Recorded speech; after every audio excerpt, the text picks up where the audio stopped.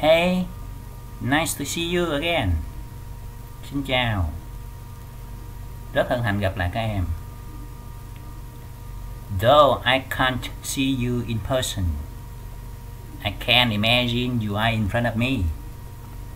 Cho dù thầy không thấy các em bằng xương bằng thịt, nhưng thầy vẫn có thể tưởng tượng các em đang ngồi trước mặt.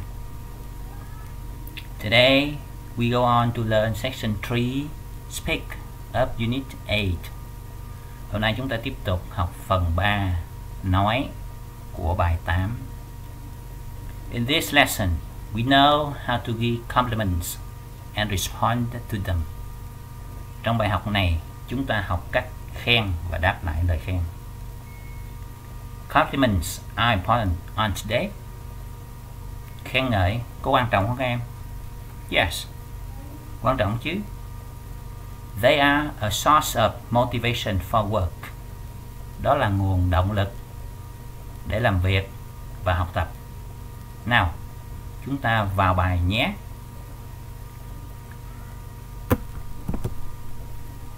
Now,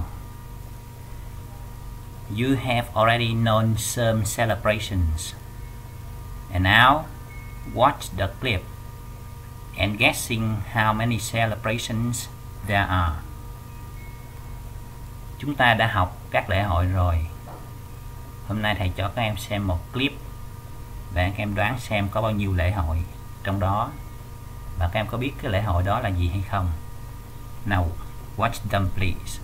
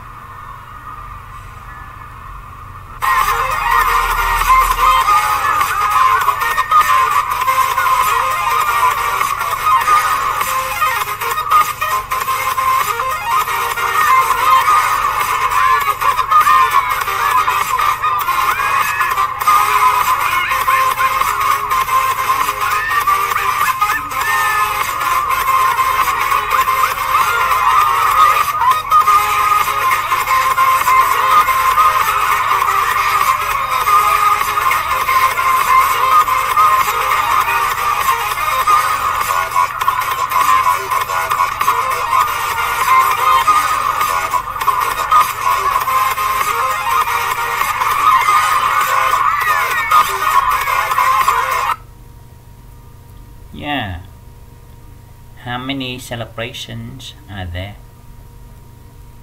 Có bao nhiêu lễ hội các em? There are five. Yeah. Now we can watch again and know something about these celebrations.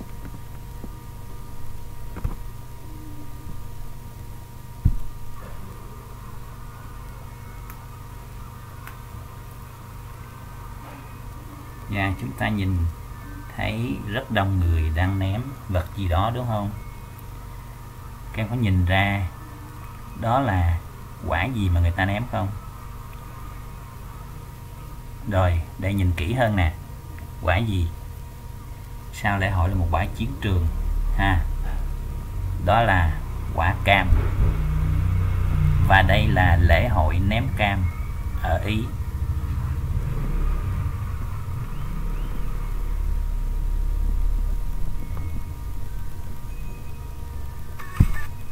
Dạ, yeah, lễ hội ném cam ở Ý. Vừa rồi chúng ta mới xem đó là lễ hội ném cam ở Ý. Orange throwing in Italy. Nào, xem lễ hội này tiếp theo là gì?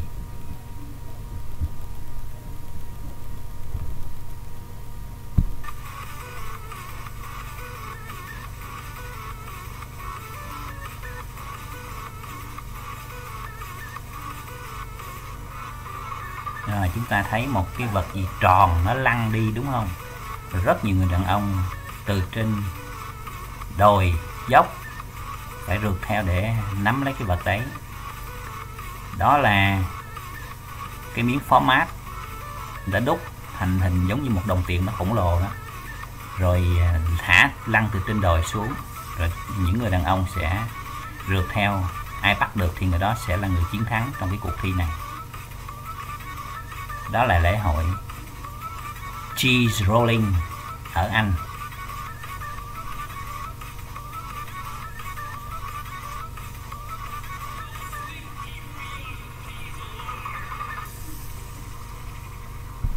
Và dạ, yeah, đó là lễ hội cheese rolling ở Anh.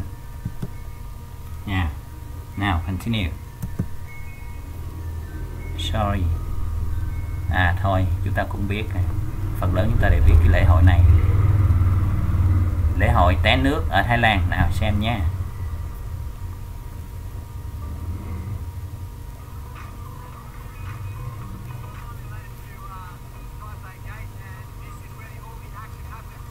và trong cái lễ hội này một điều đặc biệt là người dân phải, trước khi người ta tham gia chơi những trò chơi như thế này người ta phải à, lấy nước để tắm Phật, rồi người ta mới tham gia vào chơi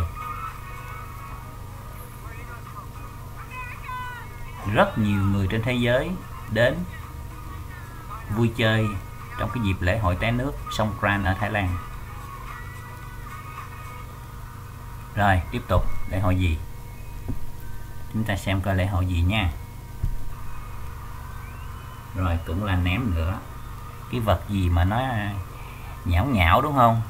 Chèm nhẹp, màu đỏ. Em có thể đoán được không? Đó là đó là trái gì các em?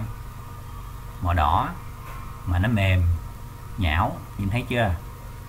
Đó là quả cà chua. Quả cà chua nha, quả cà chua. Lễ hội ném cà chua ở đâu? Nó sẽ ở cùng với đất nước mà chúng ta sẽ coi ở phần sau, cái lễ hội thứ năm. Rồi đây lễ hội thứ năm.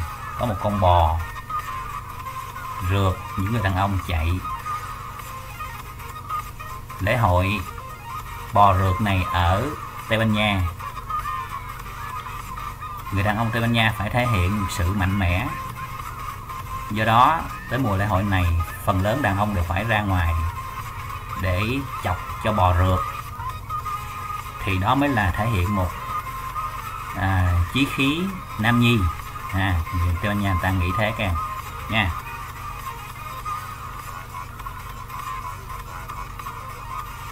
Và đây là lễ hội. Trước đó là lễ hội ném cà chua và sau đó là lễ hội bò rượt ở Tây Ban Nha. Nha. Rồi. Thì chúng ta thấy các lễ hội nó đều có cái ý nghĩa mục đích riêng của nó hết có thể là trong các lễ hội chúng ta thấy có sự lãng phí, đúng không? Ném cà chua, ném cam, ném phó mát thì dĩ nhiên những thứ đó đâu có ăn được. Rồi những lễ hội thật là nguy hiểm như là lễ hội bò rượt ở Tây Ban Nha đó. Nhưng à, người ta cũng có mục đích riêng. Thì à, hy vọng rằng à, từ từ người ta sẽ bỏ bớt những cái gì đó nó không có tốt cho cuộc sống để mà người ta làm cái lễ hội nó sẽ nó sẽ thay đổi cái lễ hội nó sẽ tốt hơn, ha thì mục đích của những lễ hội này phần lớn là người ta thu hút khách du lịch. Chúng ta thấy đó, rất nhiều khách du lịch đổ tới thì cũng là một nguồn kinh tế của đất nước. Người ta, nha. Này, trong các cái lễ hội thì có những lễ hội là để kỷ niệm một cái à, sự kiện nào đó. Nhưng cũng có những lễ hội, có những cái cuộc thi tìm ra những người chiến thắng vậy khi mà chúng ta có một người thân hoặc bạn bè đi tham gia các lễ hội và giành chiến thắng, dĩ nhiên chúng ta chúng ta phải chúc mừng, phải không? Và chúng ta chúc mừng như thế nào? Thì hôm nay chúng ta sẽ học cách khen, chúc mừng và đáp lại lời khen và lời chúc mừng. Trước hết, chúng ta học qua một số từ gọi là keywords của bài hôm nay. Nào, look. Listen, repeat, and try to guess the Vietnamese meaning after my explanation. Nhìn vào màn hình, nghe và lặp lại rồi đoán nghĩa của, nghĩa việt, nghĩa tiếng việt của từ mà thầy giảng nha. Nào. Chữ này có hai loại từ, viết y chang nhau nhưng cách phát âm nó khác nhau động từ chúng ta sẽ đọc là compliment. Compliment. Compliment. Danh từ chúng ta đọc compliment. Compliment. Compliment. To compliment means to say beautiful words to somebody when they do a good job. Chúng ta dùng lời đẹp đẽ, lời hay cho ai đó khi họ làm được một công việc tốt. Thì nghĩa tiếng việt đó là khen ngợi khen ngợi. Và chúng ta có động từ đi theo thành ngữ của nó, đó là compliment somebody on something or compliment somebody on doing something. Khen ngợi ai về việc gì đó hoặc khen ngợi ai làm được việc gì đó. Continue. Congratulate. Congratulate. Congratulate. To congratulate means when somebody win a prize uh, passes an examination or receives a nomination we congratulate them. Khi ai đó đạt một giải thưởng nào đó, hoặc thi đậu, hoặc nhận được một sự đề cử gì đó, thì người ta, chúng ta chúc mừng họ. Congratulate. Chúc mừng. Nha. Động từ theo thành ngữ của nó, chúng ta có congratulate somebody on something or congratulate somebody on doing something. Chúc mừng ai về việc gì đó, hoặc chúc mừng ai làm được việc gì đó. Next charity. Charity. Charity. Charity is an action of getting ready to help people in need, especially poor people or miserable people. Hành động mà sẵn sàng giúp đỡ ai đó khi người ta cần thiết đặc biệt là những người nghèo và những người khốn khổ, đó là sự từ thiện. Nha. Mấy hôm nay thì chúng ta thấy trên đất nước Việt Nam chúng ta, cái lòng từ thiện của con người Việt Nam chúng ta được đẩy lên cao bằng những hành động như là nổi bật nhất đó là những cây ATM gạo. Ha, các em thấy không? Cho đó chúng ta luôn luôn tự hào người Việt Nam chúng ta là những người có lòng từ thiện, một trong những quốc gia có lòng từ thiện nhất thế giới, các em ha. Go on. Nominate. Nominate. Nominate. To nominate means to introduce somebody for a prize or a position. Mình giới thiệu ai đó cho một cái giải thưởng hoặc là cho một cái vị trí nào đó đó là chúng ta đề cử, nominate, đề cử. Next. Activist. Activist. Activist. An activist is a person doing a particular activity. Là một người làm một hoạt động cụ thể nào đó tiếng việt chúng ta có nghĩa là nhà hoạt động, nha, nhà hoạt động. Now listen and repeat once again. Compliment compliment. Compliment somebody on something. Compliment somebody on doing something. Congratulate. Congratulate somebody on something congratulate somebody on doing something. Charity. Nominate. Activist. Yeah rồi. Bây giờ chúng ta chuyển qua phần chính của bài hôm nay, đó là chúng ta sẽ khen một người như thế nào và đáp lại lời khen của người ta khi mà người ta khen mình như thế nào. Look this is how to give and respond to compliments. Này. how to give a compliment. Làm thế nào để chúng ta làm một lời khen ngợi? There are many ways. Có rất nhiều cách để chúng ta khen ngợi. You can say. Các em có thể nói quá đánh ồ oh, hay quá giỏi quá. Good job hay đấy làm tốt đấy. Excellent tuyệt. Amazing. Ồ oh, đáng ngạc nhiên. Awesome. Quá tuyệt. Thật là kỳ diệu. Wonderful. Tuyệt vời. Or you can say that's a great or an excellent. Lập lập lờ chúng ta có thể nói ồ oh, đó là một việc rất vĩ đại một việc gì đó rất xuất sắc. Let me congratulate you on.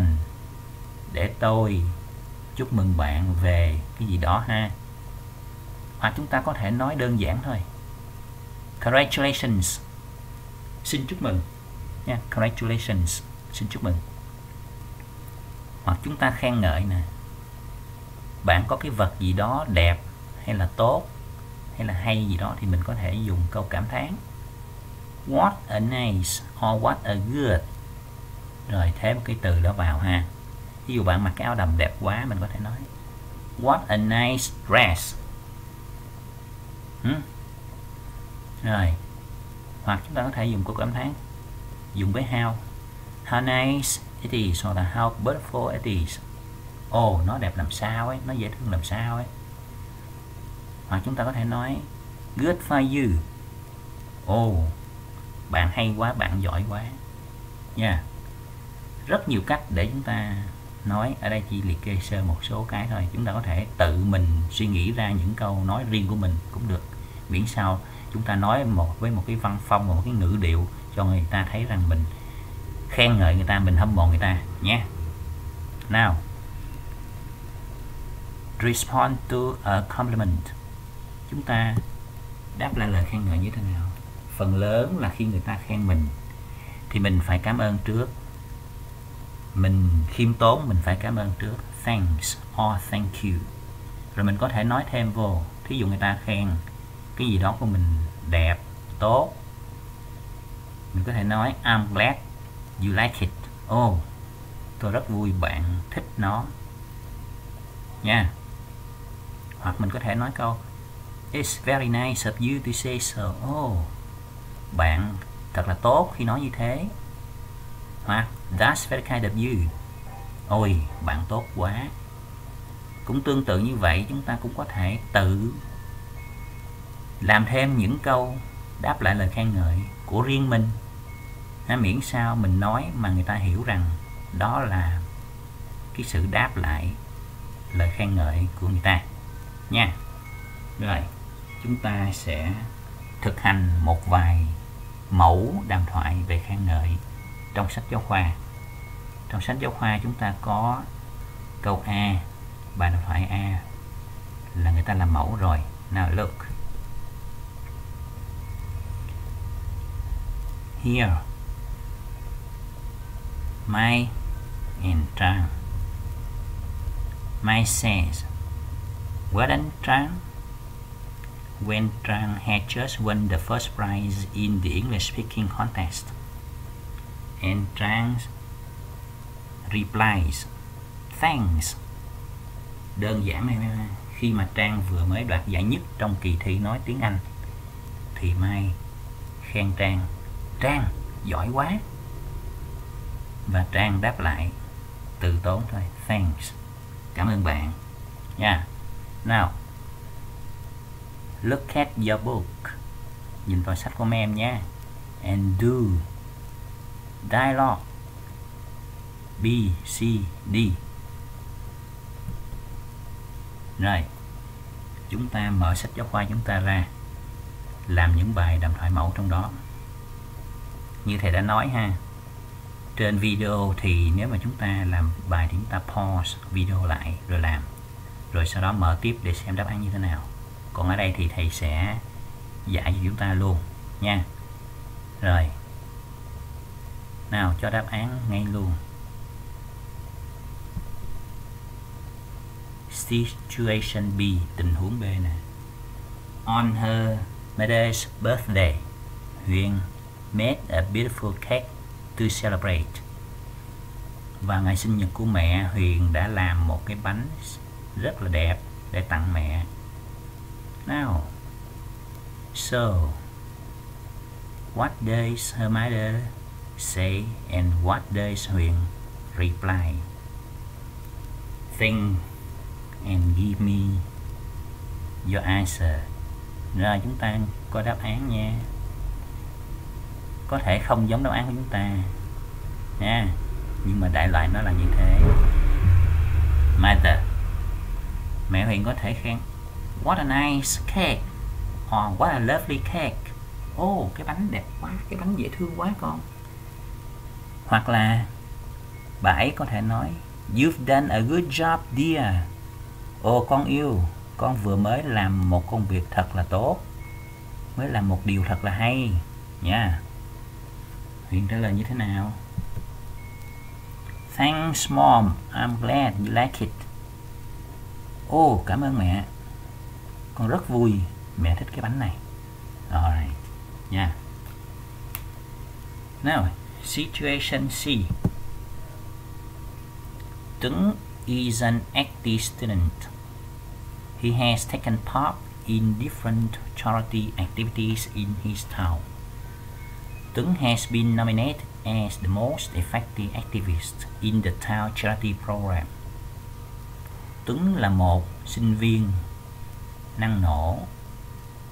Cậu ta tham gia vào các hoạt động từ thiện khác nhau trong thị trấn của mình.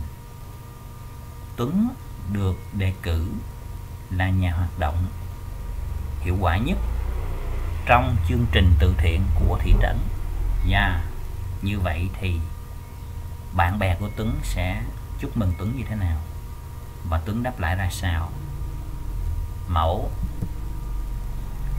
excellent congratulations ồ oh, xuất sắc Tuấn ơi chúc mừng bạn nhé hoặc You've done a great job. Ồ, oh, bạn vừa mới làm công việc thật là tuyệt.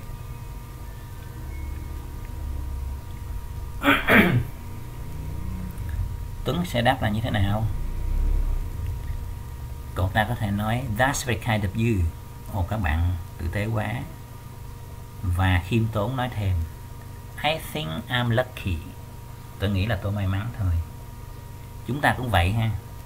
Khi mà ai khen ngợi mình, chúng ta cảm ơn và không quên khiêm tốn đáp lại nhẹ nhàng nha, chứ chúng ta đừng có dương dương tự đắc cho rằng mình giỏi hơn bạn cái đó không nên nha các em nha now situation D Hoa brings to class a new picture. She has painted. Đây, Hoa mang vào lớp một bức tranh mới của ta. Vẽ xong. Nào như vậy thì mình thấy bức tranh mình sẽ nói như thế nào? Và hoa sẽ đáp lại ra sao? Mình có thể nói amazing. Oh thật là ngạc nhiên. This is the first time I've seen such a beautiful picture ôi lần đầu tiên tôi thấy một bức tranh đẹp như thế đấy à hoa It snaps you to say so. Ôi, bạn tốt quá khi nói như thế. Hoặc là I'm really glad to hear such a compliment. Ôi, tôi thật sự vui mừng khi nghe được một cái câu khen ngợi như thế. Nha. Yeah. Rồi, hàm chứa trong cái phần trả lời là cái phần khen ngợi bạn lại. Ha. Này.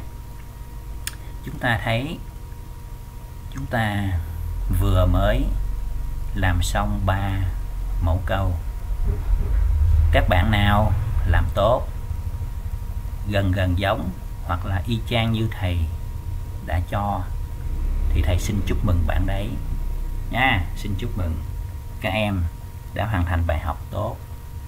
Chúng ta hãy vui lên nha, cho dù học qua mạng nhưng chúng ta hãy vui lên. Phải giữ vững tinh thần nha, tìm mọi cái khía cạnh vui ở trong cái việc học để chúng ta tiếp tục, bởi vì chúng ta sẽ còn phải quay trở lại trường, làm bài thi, làm bài kiểm tra, rồi chúng ta mới kết thúc năm học được. Cho nên luôn luôn vui lên nhé các em nha rồi chúng ta đã kết thúc bài học. Bài học hôm nay rất là đơn giản. Các em cố gắng học cách cho lời khen ngợi và đáp lại lời khen ngợi. Và nếu có thể, các em làm việc trực tuyến với bạn của mình và tạo ra một vài bài đàm thoại tương tự như vậy về việc khen ngợi. Sau đó, các em có thể thu hình lại và gửi clip của các em qua mail của thầy. Và chúng ta có thể được điểm cộng nếu bài làm của chúng ta tốt khi chúng ta quay trở lại trường hiện giờ thì chúng ta thấy cái việc mà chúng ta thâu bài lại rất là dễ, đúng không? Chúng ta có thể dùng laptop, thậm chí chúng ta có thể dùng ngay cả smartphone của mình nha. Chúng ta tận dụng những cái phương tiện hiện đại để học tập, chứ không phải là chúng ta chỉ biết lấy những cái phương tiện hiện đại đó để mà vui chơi không nha. Chúng ta chuẩn bị phần read của bài số 8 mấy em thấy cái hình gì không? Ai đoán ra được cái hình này là cái gì? Đó là não chúng ta đấy. Chúng ta phải luyện não ha luyện não. Phải luyện để não chúng ta quen với những cái suy nghĩ những cái à, ghi nhớ. Thì khi mà gặp lại vấn đề thì chúng ta mới nhớ lại nhanh chóng và chúng ta mới có thể có khả năng làm tốt được. Cho nên chúng ta cố gắng học hành. Nha các em nha. Nào. Always keep in mind be active and be happy and we will get success. Alright. chúng ta nhớ nè. Luôn luôn tích cực và vui tươi lên thì chúng ta sẽ thành công thôi. À, ở nhà một mình thì chúng ta có thể nhảy múa hoặc là chúng ta nếu mà chơi một môn thể thao nào đó thì chúng ta tập thể lực thí dụ chơi cầu lông đi chúng ta sẽ lấy cái vợt ra chúng ta tập lấy cái vợt ta cứ đánh giả bộ như chúng ta đang thi đấu mà. chúng ta sàn qua bên đây nhảy qua bên kia nhảy lên đập ha hoặc là à, với tới để cứu cầu chẳng hạn ừ? nếu chúng ta có trái bóng mà nhà chúng ta có cái sân thì chúng ta sẽ đá đá bóng một mình chúng ta tân bóng làm sao cho cơ thể chúng ta nó hoạt động và ra mồ hôi là tốt hoặc chúng ta có thể cùng với anh chị em trong nhà hát hát, hát. dĩ nhiên là chúng ta hát nhưng mà đừng có làm à, phiền hàng xóm đúng không ừ? hát vừa đủ nghe hoặc là chúng ta có phòng kính chúng ta vào đấy nha à, biết rằng là chúng ta đang phải học tập còn nhiều hơn là lúc chúng ta đi học thật sự ở trường bởi vì các bài tập và các clip của thầy cô đổ xuống cũng khá nhiều. Thôi chúng ta cố gắng nha thầy cô cũng đã nỗ lực hết sức mình vì chúng ta rồi. Rất là tốn công tốn sức khi mà làm một cái video clip đó các em chứ không có đơn giản đâu nha. Cho nên là để đáp lại cái à, cái sự à, à, tận tụy của thầy cô thì mong các em đón nhận bài học và học cho nó tốt. Nha hẹn gặp các em lại ở bài sau nữa. Thank you. Goodbye.